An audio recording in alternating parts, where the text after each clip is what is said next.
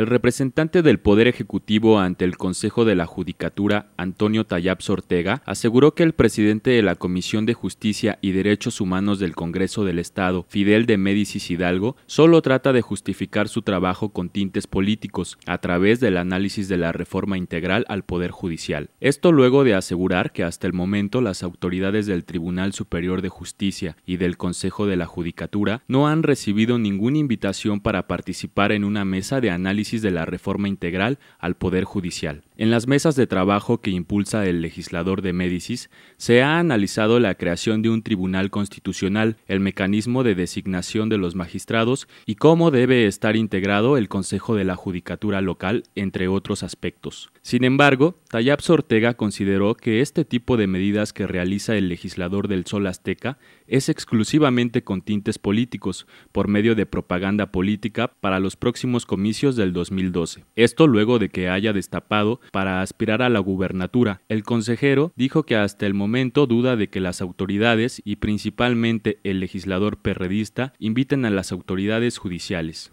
Veo más que es un intento, por un lado, pues de justificar el trabajo por parte de un diputado, de la comisión que representa, y también pudiera conllevar, como algunos de sus eh, colaboradores cercanos lo han expresado, también debe quizá conllevar eh, un dejo de, de, propaganda política, ¿no? por sus aspiraciones políticas del diputado. Para Noticieros El Regional con información de Eric Abraham, informó José Miguel Baena.